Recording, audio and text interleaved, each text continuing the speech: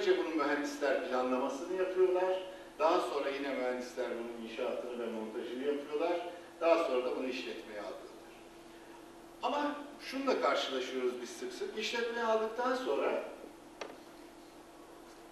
bir de bakıyoruz kısa sürede o işletme bize yetmemeye başlıyor. Yani onun kapasitesini arttırma ihtiyacı duyuyoruz.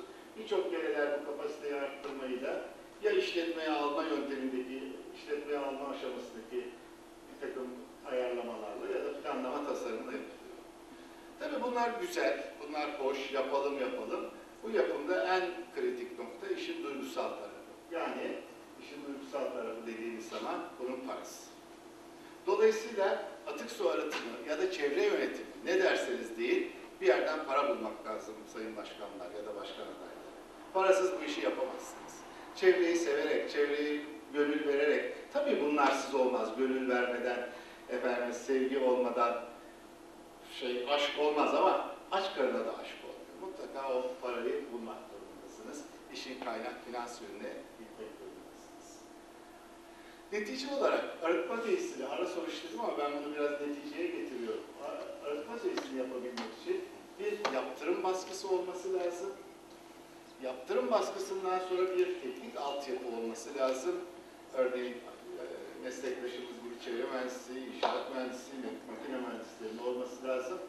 Sonra bir yerden de mutlaka para bulması lazım. Başkanım ne kadar süren var? Sanıyorum süremiz çok azaldı değil mi? Ben burada keseyim müsaadenizle. Aslında uzun bir e, konuşma hazırlamıştım ama gece yarısı programı olduğu için e, keseyim.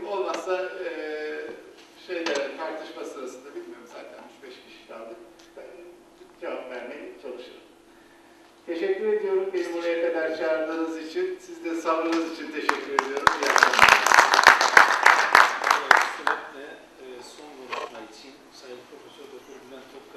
e, davet ediyoruz. Katı yönetimi yani geldik en sonunda bitmen çöplüğüne dayandık. E, Antalya Akdeniz Üniversitesi öğretim üyesi hocamız bizlere son konuşmayı yapacak.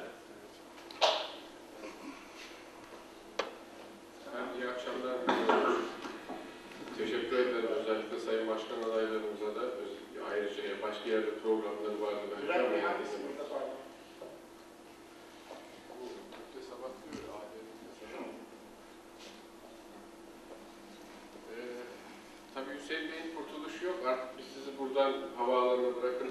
Sonra gider yatarız siz. Oradan Ankara'ya İstanbul'a devam edersiniz. Valiz hazır olsa bir şey değil, bavullansa değil. Ee, Hanıma söyle göndersin diyor olması. Yani şeylerde çözüm bitmiyor. Efendim yıllar evvel, bu 8-10 sene evvel ben burada e, Lefkoşa'yı güneyinden de ziyaret etme fırsatı bulmuştum. Larnaka üzerinden bir toplantı için Lefkoşa'ya gelmiştik. Orada e, güney kısmını veya bugün gezdiğimiz o çitlerin güney tarafından da bakmıştım. Bakma fırsatı olmuştu.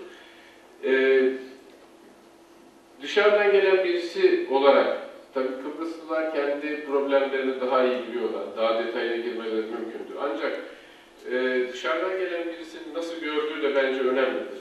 Uçaktan inerken mesela ilk dikkatimi çeken şey, genelde dikkatimi, güneyde de aynı şey vardı. Bir kere bir su kıtlığı olduğu zaten belli oluyor. Şehirde dolaşırken bakıyorsun çimenlerin rengi değişik, yanmış. Bu su kıtlığından olabiliyor veya su ve veya suyun içerisindeki işte tuzun fazla olduğundan kaynaklanıyor ki çimenler yanmış. E şimdi otele işte konuk evinde ilk duş yaparken veya elimi yıkarken baktım sabun köpürmüyor. Sabunun köpürmemesi demek suyun sertliğinin ve hiç köpürmemesi, çok direnmesi yani suyun köpü, sertliğinin acayip yüksek olduğunu